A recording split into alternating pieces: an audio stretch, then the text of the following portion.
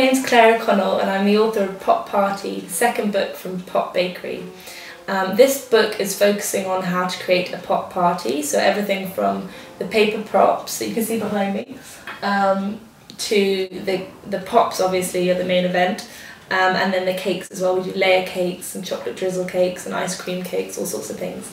Um, so I'm very excited about this book and I hope you enjoy it. I'm now about to show you how to make monkey circus pop.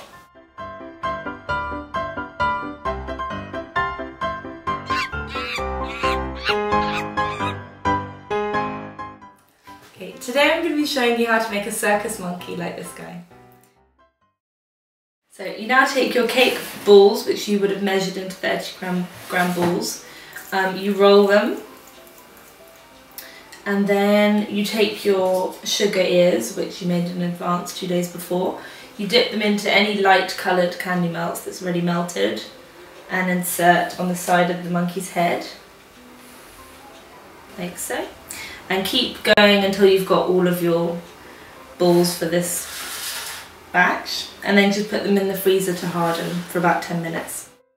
So once your monkey heads have hardened but aren't too hard, you don't want them to be frozen through, um, you get them out, you dip the tip of your stick into some candy melts, you insert it three quarters of the way up, doesn't matter if it's built if it's a bit tilted because they can have cute little characters all over. Um, and then you just tilt the bowl and dip your head and then just keep shaking.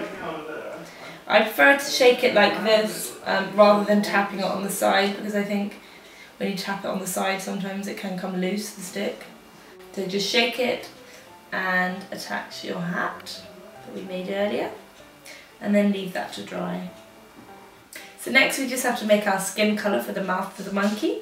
You basically take about a quarter of a bag of pink candy melts um, and then one, two handfuls of white and then just a few brown because they can really darken the whole mixture so you don't want to use too many.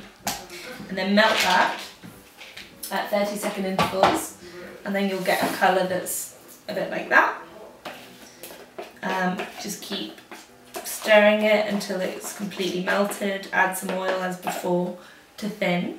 You basically get your spoon um, and you get a spoonful of the skin colour and then you take your monkey and you just dip, um, trying to make sure that it's in the centre of the head, um, close to the bottom of the face and then you just dip, I mean just shake and then you should have a nice mouth for the monkey. Here I've just mixed a bit of the edible tin in white and then a bit of our half and half mixture.